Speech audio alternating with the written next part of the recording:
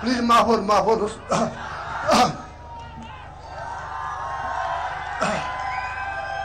हाम्रो विश्व प्रकाशजीले त बोल्नु बोल्नु बोल्नु आफ्नै हालि हालिहाल्नु हो के गर्नुहुन्छ यस्तै छ साथीहरू अहिले समय धेरै ढल्किसक्यो चिसो पनि भइसकेको छ त्यसैले चाहिँ नि रामचन्द्रजीले चिसोको कारणले पनि बोल्नु पनि सक्नु भएन बिचराले के गर्ने त्यस कारण नि यो चिसोको बेला म तपाईँहरूलाई धेरै समय लिन चाहन्न।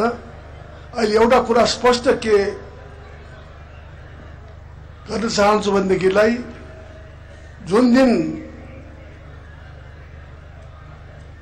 मेरो सरकार बन्यो त्योभन्दा अगाडिका दिन हेर्नुहोस् कस्तो थियो डर त्रास।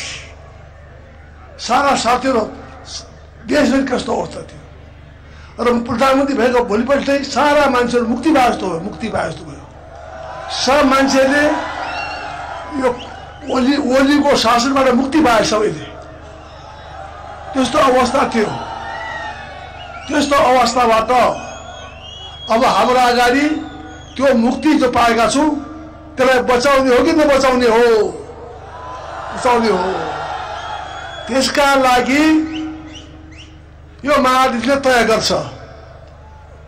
यो महाधिवेशनले यो डर त्रासबाट मुक्त समाज फेरि यो कुनै किसिमको पनि यो सब यो तानासाही सरकार नआओस् भन्नका लागि यो महाधिवेशनले निर्णय गर्नुपर्छ। निर्णय गरेको खण्डमा आउँदो सरकार काङ्ग्रेस हुन्छ गाउँदेखि माथिसम्म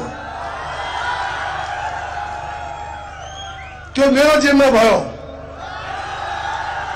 यसकारण चाहिँ नि साथीहरू अहिले धेरै भन्ने कुरा छैन प्लिज भयो भयो भयो प्लिज भयो भयो भयो भयो प्लिज भयो भयो प्लिज भयो प्लिज भयो भयो भने भएछ त्यस कारण चाहिँ नि देशभरिबाट जो तपाईँहरू अधिवेशनमा आउनुभएको छ कहीँ सहमतिले आउनुभयो होला कहीँ प्रतिस्पर्धा पनि भयो होला तर प्रतिस्पर्धाबाट कुनै किसिमको मनमुटाव कलुषितता अलिकति चाहिँ यो मानव मानवीय के अरे मनोमालिन्यताबाट मुक्त हुनुपर्ने अवस्था छ। किनभनेदेखिलाई भोलि चुनाव आउँदैछ स्थानीय तहको चुनाव आउँछ माथिको तहको चुनाव आउँछ।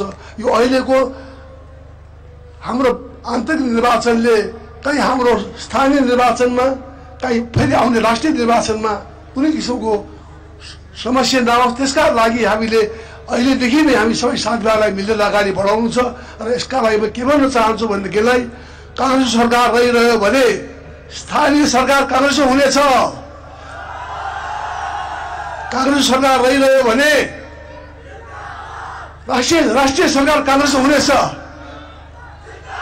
त्यसका लागि मलाई एकपल्ट जिताइदिनुहोस्। त्यही हो साथीहरू त्यसकारण चाहिँ नि मलाई धेरै कुरा भन्नु छैन।